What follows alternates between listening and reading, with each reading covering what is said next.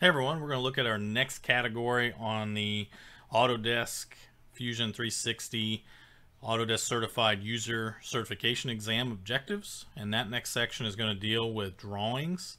And we're going to look at this first objective called Creating a Drawing View, Base, Projected Section, and Detail. And with that, we're going to start off with a part in Fusion 360, and I'm going to show how to create that. So first off, once you have a part created, you can do this multiple ways. You can right click either on the component and say create drawing. You can go up to the file menu and say new drawing from design. And that'll do a lot of scenarios. So I'm gonna go ahead and show it from the component view, create drawing. It's gonna ask us what type. I do have a template that I use quite often. I'm gonna use a B size title block and I'll say okay.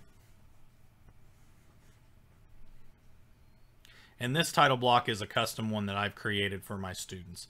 So the first thing that'll happen is, is with a component, it will automatically load in a base view for you. So you can see the base view option is highlighted up here in the upper left-hand corner. You can choose what orientation you would like, whether it be a top view, a right side view, but typically you want the front of your shape that shows the most description about that object to be represented. So the style, you can have vis just visible edges, you can have visible and hidden edges, shaded, or you can have shaded with hidden edges, which usually I don't use a lot. But then we have the scale. So either I can type in a custom scale or you click on the three dots next to it and choose like for example one to one scale. That looks pretty pretty large for what we're doing. We'll do one half. That works pretty well for our drawing. And when I click, I can place the view and say okay this will show now there is our hidden edges being represented and here is our front view for the for the object. If I wish to edit that view, I can always double click on it and then pull up the same options, change what orientation that I want for it to show in.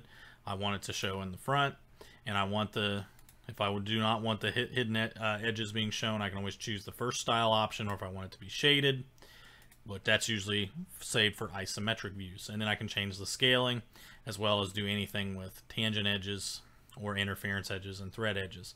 These don't get used quite often and it's not something assessed on the ACU exam, so that's why I'm not spending a lot of time on those. But I'll go ahead and hit close. Our next one is going to go through and look at, we're just going to go through the options that we have here, which is going to be to create a projected view, a section view, and a detail view. So I'm going to go ahead and choose projected view.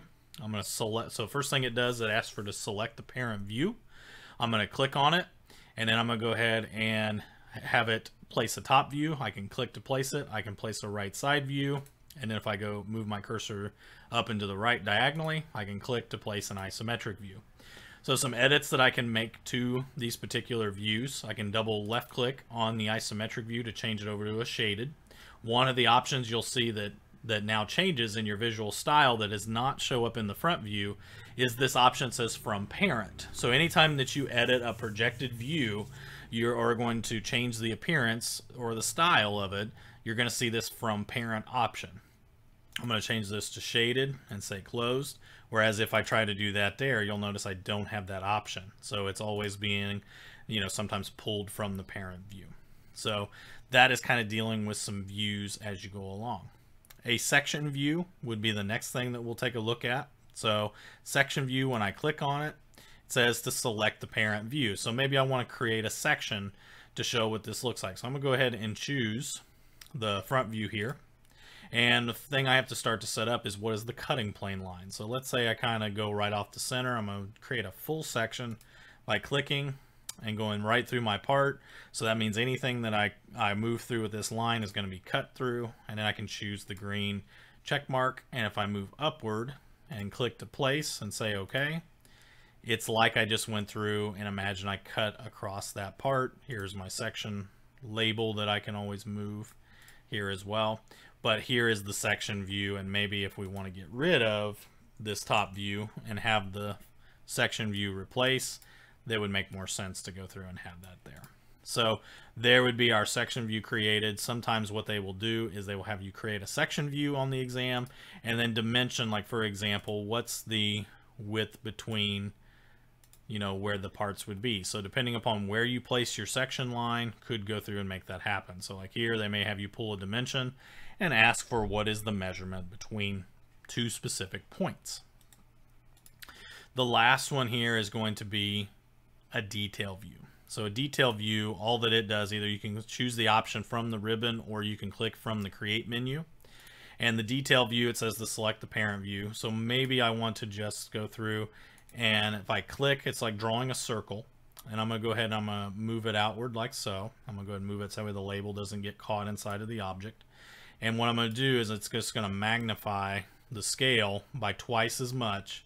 And then maybe what I can do with this is by clicking dimension, I can go ahead and dimension some of the different parts without it interfering on this here. If I don't have a lot of room or there's a lot of uh, maybe small details that need to be blown up and kind of shown in a different view, we can do that with a detail view.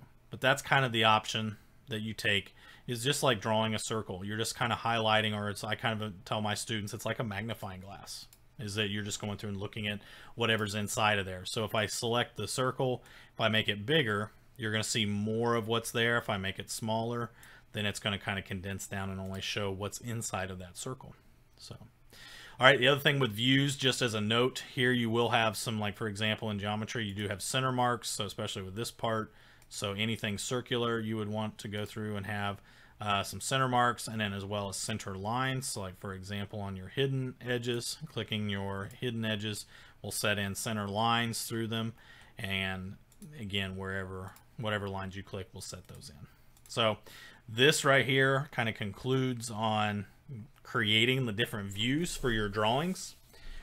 Hopefully this is going to be very helpful as you take a look and again think about what kind of uh, views that may be asked for when you go through the exam. If you have any questions or anything, feel free to email me. I'd be happy to go through and answer those. But until next time, you're going to see another exam objective video. Keep watching, keep studying, and being prepared for that ACU exam.